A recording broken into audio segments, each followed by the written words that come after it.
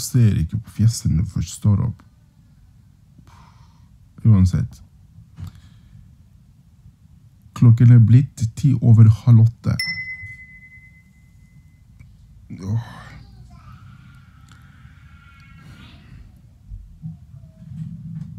Det var klokkealarmen, det. Men det her er morgenrutinene våre.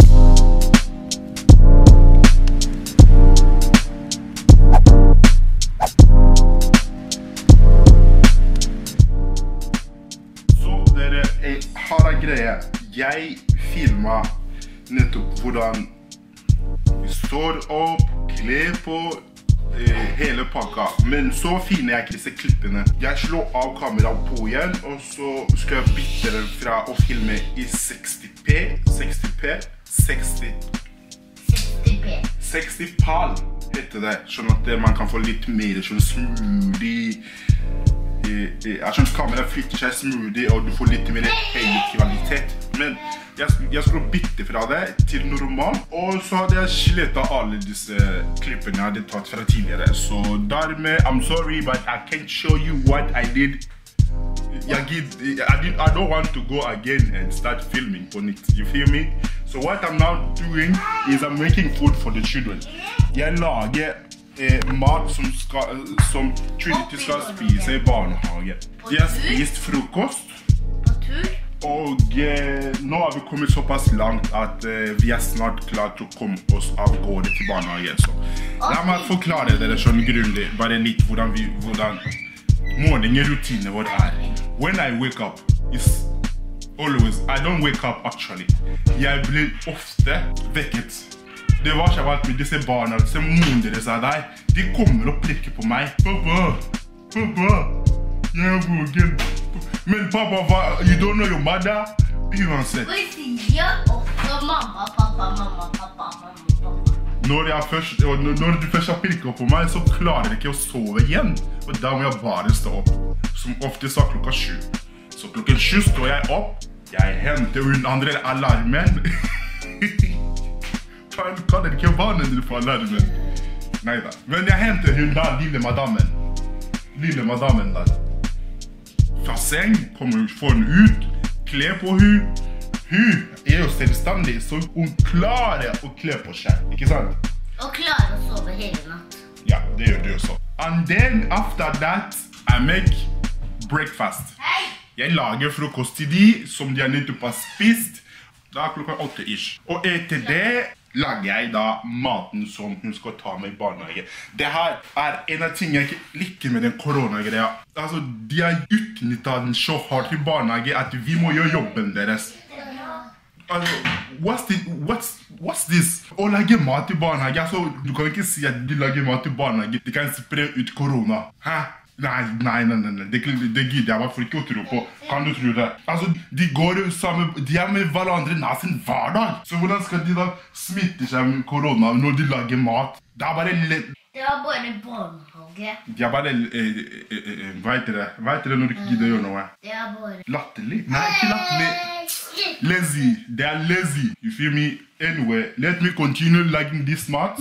Så når vi er ferdig med det, skal jeg ta på sko, skal vi komme oss i bil, skal vi komme oss til barnehage. So let me just eh, eh, eh, eh, finish the thing here, and I'll come back.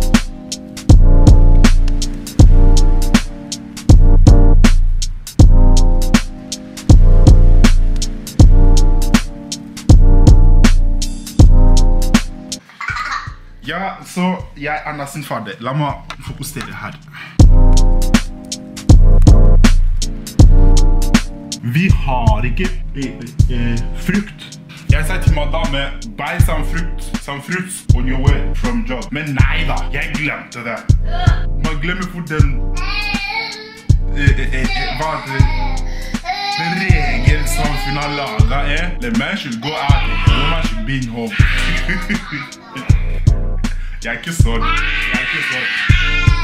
Di, mi kunasema hapa ni nini? Ni ndeo. Boy, ni ndeo. Kubwera choko zipunda punda mu wantu mwakamba kuma kamera. Ni chane ni ndeo. Ja.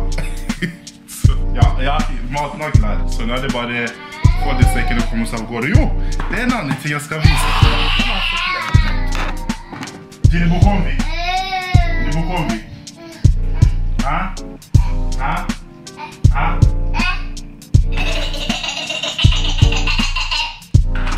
Så, ja. Jeg skal få klar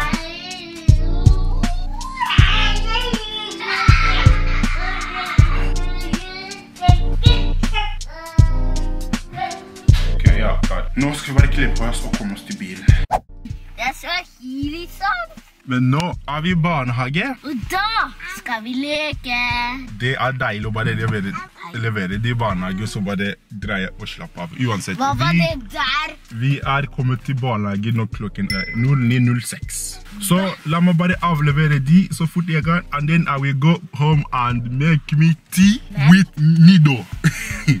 Nå er jeg hjemme igjen, og jeg tenker jeg er hjemme alene og er fri, så jeg skal utnytte den tida her til å lære meg noe nytt. Eh, Så det var vår morgensrutine.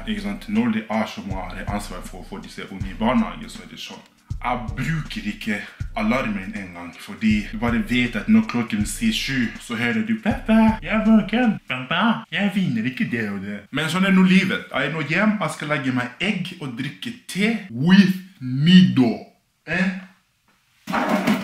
In case you don't know what I'm talking about. Jeg skal legge meg egg og te med Nido. You know what it is. Ja, de som vet, de vet. Det her er ekte greier. Har du ikke smakt på det? Ta to skje av Nido. To teskje av sukker og liberté. Rør om, vent et minutt ish, og så drikker du det. Åh! Ja, uansett, jeg skal si adjø nå. Så det ble bare en kort video om min morgenrutine som pappa. Likte du den, gi det en tommel opp.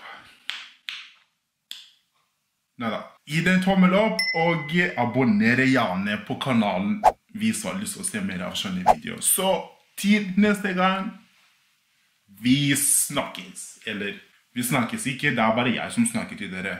Vi, se, nei, vi ses ikke heller, jeg ser ikke dere. Av en eller annen grunn så fått skikkelig rar energi på mandag i morgenen, men ja. Ha det bra.